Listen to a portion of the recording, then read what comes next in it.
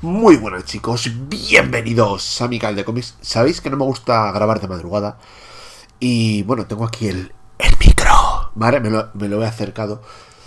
Es que o grabo así, hoy no hay vídeo. Y me parecía interesante eh, hacer, bueno, ya sabéis que no me gusta tenerlos sin vídeo, o sea, pero me parecía interesante hacer esto. Tengo una lista con todos los eventos de Marvel, bueno, y de DC, porque a mí me pasa, hay veces que leo algo y estoy perdido. Digo, a ver, ¿dónde estamos? ¿Cuándo estamos? ¿Qué ha pasado? Jaja, no. ¿Qué ha pasado?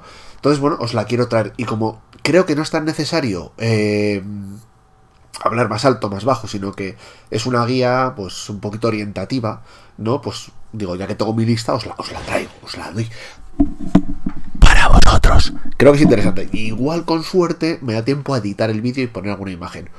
O no, o no, ¿vale? Porque siempre es más mejor ver las guías con visualización, ¿no? Audiovisual. Pero os hará lo que se pueda. No prometo nada. eh, así que os traigo vídeo. Os pongo, luces de Navidad. O lo intento por... Lo intento... Ah, no, es que están, están desenchufadas. Vale, pues no, no lo intentes. Vamos, vamos a ello. Eh, empezamos por 1971. Bueno, está muy bien porque esto enlaza con el 2020. Dirás tú, joder, han pasado 50 años, pero bueno, es lo que tiene, ¿no? Que los cómics son así. La guerra Kree Skrull. Skrull, Skrull he dicho, Skrull. Esto, esto está reeditado hace poquito, formato de 14 euritos, formato tapa blanda. Vete rápido porque como se agote lo tengan que... Bueno, no lo reimprimen, seguro que no lo reimprimen. Ahora a ver dónde dejo yo las cosas, esa es otra. Bueno, súper conocido. O sea, esto es en 1984, la Secret Wars, los, bueno, la serie para los muñecos, para vender muñecos, qué guapos. Yo cada vez que los veo, tío, es una pasada. Además, tienes una cosa muy chula aquí al fondo, que te salen, si no la lío, y si los encuentro, bueno, que te salen los muñecos, ¿vale? Aunque no vamos a... Mira, aquí los muñecos. Es que me parece chulo e interesante enseñarlos. Súper guapos. La única importancia de este evento es el traje alienígena, o sea, no... Bueno, a ver, voy a intentar no meter spoiler. Voy a intentar no meter spoiler. Igual alguno se cuela. No estoy seguro, pero igual alguno se cuela. Bueno, en el 90 tenemos Thanos Quest. Es una miniserie, creo que era de dos números. Y luego vamos a, creo que la- lo más conocido, gracias a las películas, entiendo, que es El Guantelete del Infinito. Esto está editado en un coleccionable. Yo te diría que con que te compres las sagas principales también ya te vale. Aunque, sí es verdad que sobre todo los primeros tomos están muy bien. Aunque se repiten en algún momento, pero los primeros están bastante bien. La, la de Estela Plateada está muy, muy guapo. Así que bueno, 20 euros además. Esto está, está a buen precio, buen formato. Seguimos con eh, la era Apocalipsis. A ver, eh, he metido los eventos más importantes. Alguno igual me falta. He dudado si meter la patrulla X, pero claro, es que yo creo que es un evento bastante importante que tenemos que incluir. Porque fue un año eh, épico. Así que, bueno, aunque sí que quiero meter eventos que cambiaron todo el tema de Marvel, creo que es un evento, bueno, yo puedo ser eh, promutante, que lo tenía que meter sí o sí. Así que como no hay otros eventos como X de espadas y tal, pues yo este me apetecía, me apetecía meterlo, ¿por qué no? Bueno, luego tendríamos Oslaux, ¿vale? Oslaux es eh, cuando empieza el tema de, de los Rebor, Héroes Rebor y tal. A ver, aquí Rob Layfield tal, aquí hay gente que sí, hay gente que no, bueno, cada uno lo que sea. Luego seguimos en el. Esto, esto es la. La etapa Bendis, ¿vale? Esto es etapa Bendis 2004. 2004, eh, Secret War. La Secret War, ¿vale? La Secret War. Que está reeditado hace poco en un deluxe, si no me equivoco, lo han vuelto a reeditar. Esto es una, un asunto de, de. de Nick Furia, no me salía, no me salía. De Nick Furia. Que bueno, sí, más, tampoco a mí el evento no me, no no me va mucho. Y luego vamos con la etapa Bendis, guapa, guapa, guapa, que esto es, esto es, esto es un eventazo, ¿de acuerdo? Aquí sí que suele haber mucho lío con la gente, ¿no? En plan, ¿qué me leo, qué no me leo? Bueno, Vengadores Desunidos, que lo tenéis, si no me equivoco, ahora en un must-have, aunque los must-have ya no salen también de precio, pues esto vale 16 pavos, y el must-have valdrá igual 18. Pasa que, claro, Marvel Deluxe estarán agotados igual. Eh, muy, muy bueno, muy bueno, ¿no? Eh, muy bueno. Que esto nos lleva a la siguiente, el siguiente evento, que es Dinastía de O sea, acaba uno, empieza otro.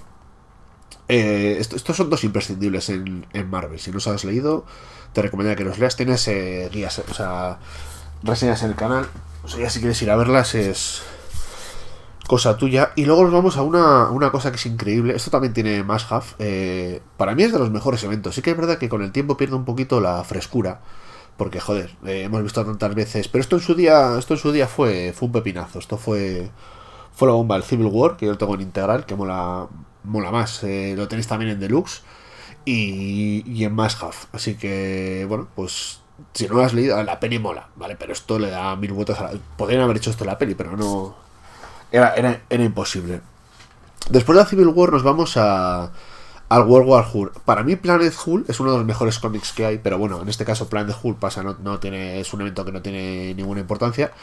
Y el World War Hulk tiene estos 2000, 2007, ¿vale? Civil War, no lo he dicho 2006, 2007, World War Hulk. Eh, esto aquí, vamos, aquí la lía Hulk petarda. Si lees los eventos anteriores, sabes lo que ha pasado. Como no te puedo hacer spoiler, pero aquí viene Hulk a decir: Mira, os vais a cagar, Illuminatis, os voy a voy a, a partir la madre. Sería algo así en mexicano. Luego, bueno, eh, Nuevos Vengadores eh, se va en la parte de 2007-2008. Eh, nuevos Vengadores, creo que los Nuevos Vengadores 2008 era de Bendis, me parece. Estoy un poco dudoso. Pero, bueno, si alguien quiere aportar algo en los comentarios, aportad. O sea, quiere decir que igual me dejo algún evento importante, creo que no o me dejo algún dato por ahí y tal. Tampoco creo que sea muy importante ciertas cosas, sino que es un orden cronológico. El problema es que me deje los años, pero bueno, está, soy yo. No, en principio no creo. 2008. Invasión secreta. Invasión secreta. Esto también, hostia, fue una vuelta de tuerca. Aquí te hace dudar de muchas cosas y de... Bueno, léetelo. De verdad que todo esto que estoy sacando merece mucho la pena leerlo. O sea, muy... Bueno, lo de ahora. Luego lo moderno igual no tanto. Pero Está muy bien. Luego nos vamos a Reinado Oscuro. Reinado Oscuro. Esto, esto está también muy guapo. Esto está imposible de encontrar. Yo lo tengo en inglés. Lo tuve también en castellano, pero como no lo podía tener completo, me guardo el tomito en inglés, que está siempre muy chulo. Con las ediciones en inglés, bueno, no me gusta mucho este tipo de edición, pero a la vez sí me gusta. Porque parece un libro de estos antiguos, de Pero una gran etapa, una gran etapa con Norman, Norman Osborn liándola, como no, es el liador oficial de, de Marvel. Y nos vamos con Sieg, ¿vale? Sieg es, bueno, pues luego, después de esto, se va, Norman va a intentar eh, quedarse con... Donde vive Thor, no me sale. Eh, con Asgard, joder, se intenta quedar con Asgard, bueno, una historia un poquito truculenta y tal. Luego viene todo el tema de la edad heroica y viene Miedo Encarnado. Miedo Encarnado, que a mí personalmente tampoco es que me guste mucho. Y luego nos vamos, mira, esto no encontraba las grapas, a Avengers vs X-Men, que me parece un evento brutal, o sea, la lían petarda, pero está muy, muy guapo, o sea, de verdad, muy guapo. Y después de esto empiezan los Marvel New, que es todas las ediciones que tenemos ahora, estas de Vengadores, de Thor, de la Galaxia, todo lo que está, se está editando ahora en el 2021 y acabará en 2022, no sé si durará más el tiempo, el Marvel Now que empezamos con la era de Ultron, ¿vale? La era de Ultron en el 2013, que esto fue un poco antes de la peli, si no me equivoco, que se aprovecharía para la película, que es un elemento un poco olvidable. Luego vendría 2013 Infinity, que es el tema de Thanos y la Orden Negra. 2014 sería Original Sin, eh, que es el tema este... Yo cuando hice la reseña de Thor, lo de la última que están ahora de Marvel No de Luz de Thor, hay un momento en el evento que me faltaba, que sí lo he leído, pero yo no me acordaba. Yo estoy revisando esto digo, esto lo he leído en su... Parece ya la leche, que es una historia de, del vigilante. Es importante para seguir luego el Marvel Deluxe, que por cierto creo que no está editado, me parece, no estoy seguro. O sí, no lo sé. Es que luego está editado, el pecado original está editado en...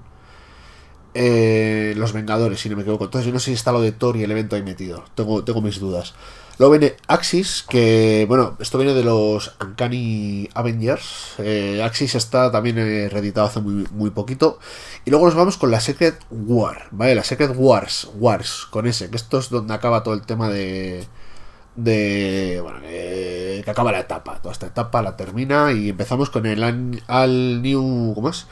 Al New Different, al New. al New, al, Difference. Y nos vamos al 2016 con esto, con la Civil War 2.